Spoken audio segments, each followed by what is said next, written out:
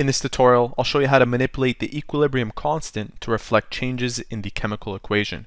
Question 1 reads, Consider the chemical equation and equilibrium constant for the synthesis of ammonia at 25 degrees Celsius. Notice that the constant is 3.7 times 10 to the power of 8. Now, we have to calculate the equilibrium constant for the following reaction also at 25 degrees Celsius and notice the differences between the two. This one has N2 and three molecules of H2 as the reactants and over here they're the products. So there's a reversal essentially. In addition, we have a coefficient here of 2 but there's no coefficient there. And similarly, the coefficients of the reactants here have changed for the products here. Given that this reaction has reversed, the way that's reflected on the equilibrium constant is you reciprocate it, where it becomes 1 over 3.7 times 10 to the power of 8. So that conversion reflects the reversal of the reaction. In addition, we have a coefficient of 1, 3, and 2.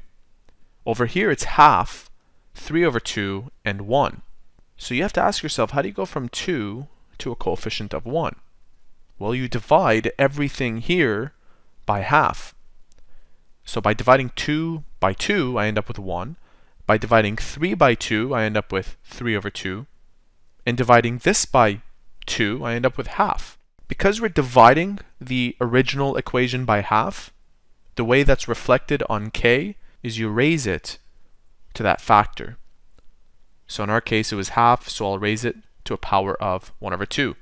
What you see right here is k prime, which is the change in the equilibrium constant. Let's go ahead and calculate that.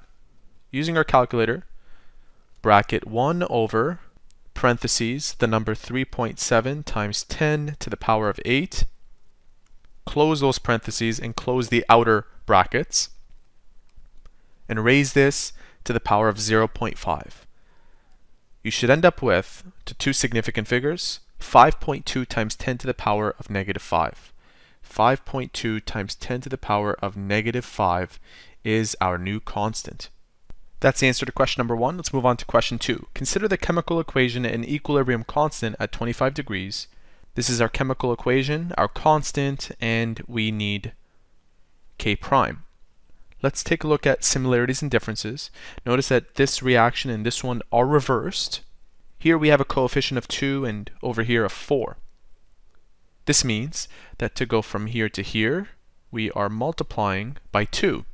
Given that these two are the reverse, we'll also reciprocate this. So let's go ahead and do that. We'll take 1 over 2.2 times 10 to the power of 6. And we will raise this, this time by power of 2. So using our calculator, 1 over 2.2 times 10 raised to the power of 6. Close, close. Now we raise this to the power of 2. And we end up with 2.06 to two significant figures, 2.1 times 10 to the power of negative 13. This right here is k prime, and that's our new equilibrium constant.